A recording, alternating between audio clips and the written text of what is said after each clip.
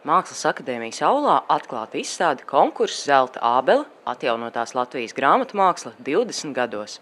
Nu, izstāde ir pirmreizēja, un mēs ļoti priecājamies, ka mums tā ir izdevusies. Tā ir pirmā eh, nopietnā grāmatu mākslas izstāde Latvijā. Šeit ir redzams eh, godalgotās grāmatas 20 gados. Un Ne visas, jo visas neizdevās sameklēt, bet ļoti liela daļa nominēto grāmatu. Nu, tas ir nu, katrā ziņā ir kādi apmēram 600 grāmatu šeit redzams. Godalgotās ir sakārtotas vitrīnā pa gadiem, kronoloģiski, nu, pārējās ir centrālajā instalācijā redzams.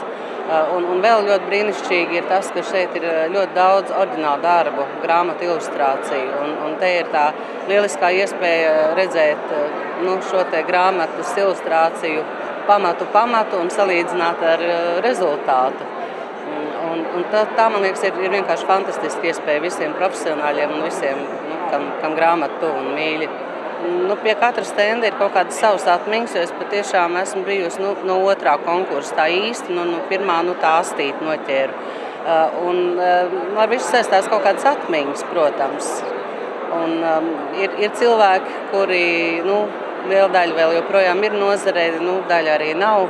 Teiksim, sākuma 90. gada sākumā jā, ar tām mūsu bezgalīgi trūcīgajām materiālajām, tehniskajām iespējām, tomēr tika izdarītas pasakainas lietas, tiešām ļoti labas. Šodien tehniski, ja atļauj līdzekļi, mēs varam pilnīgi visu. Um, nu, principā nav nekāda starpība, vai, vai mēs izdodam grāmatu Latvijā, Amerikā, Ķīnā, Francijā, Anglijā, vienalga kur. Mēs esam pilnīgi līdzvērtīgi, un tā mūs arī uztver ārpus Latvijas. Jā, mēs esam līdzvērtīgi, pilnvērtīgi un, un ļoti labas kvalitātes grāmatu mākslinieki un izdevēji. Grāmatu izstāde Mākslas akadēmijas aulā bez maksas aplūkojama līdz 25. aprīlim.